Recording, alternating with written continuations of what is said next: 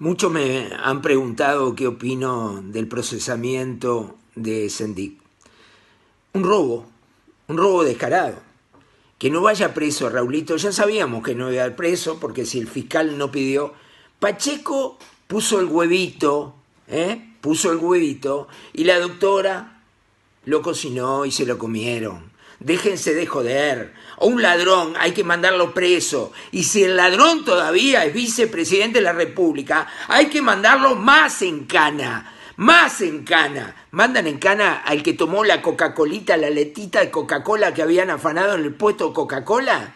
En cana, lo mandaron en cana, el Concar estuvieron. Y a Raulito le dan chachás en la cola y se va. ¿Qué hizo Raúl?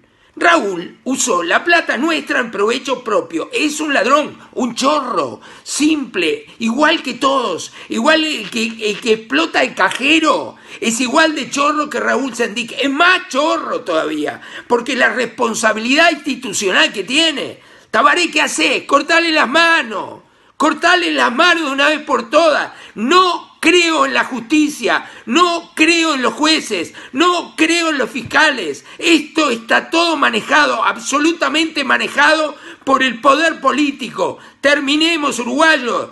Raulito, sos un chorro.